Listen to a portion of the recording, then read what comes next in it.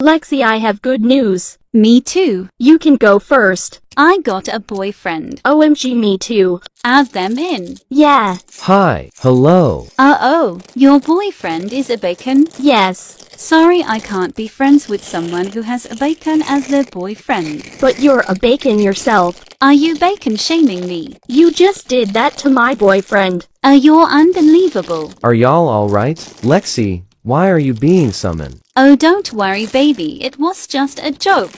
It wasn't. Come, baby boo, let's go. No, it's quite fun with them. What are y'all's names? I'm Lexi, but you can call me baby, honey, or cutie or whatever you want. Yeah, I know your name. I'm Alyssa. I'm Zeke. Cool names. My name is Noah.